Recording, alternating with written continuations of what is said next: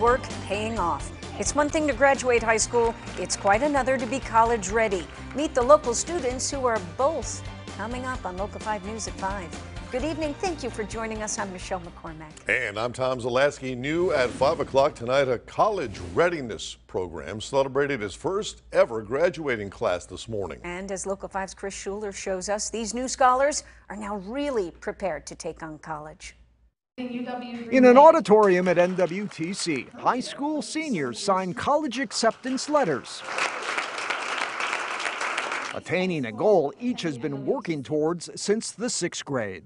I'm super excited. This is like the closing where we are getting, you know, prepared to go to the next step where it go, means going to college. But to reach this point, these students had some help from family, friends, and from a program offered by the nonprofit College Ready called New Scholars that nurtured them along the way. New Scholars is a college readiness program helping underserved youth reach their goal of being the first in their family to graduate from college. These are students that have the ability and the potential, but they don't necessarily have the resources or the understanding. According to the Wisconsin Department of Public Instruction, only 40% of economically disadvantaged high school students pursue a degree, but 91% of these graduating new scholars are moving on to college. College Ready's executive director says it's about offering support and removing barriers. We help them all the way through their senior year of high school uh, with academic support, uh, character development, and parent engagement. They always explain the steps of FAFSA and financial aid and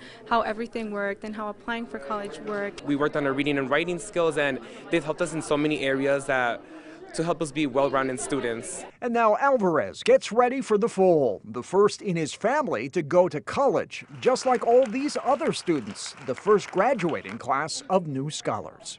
Don't be afraid to join these programs because they will be able to help you along the whole way. In Green Bay, Kris Schuller, Local 5 News.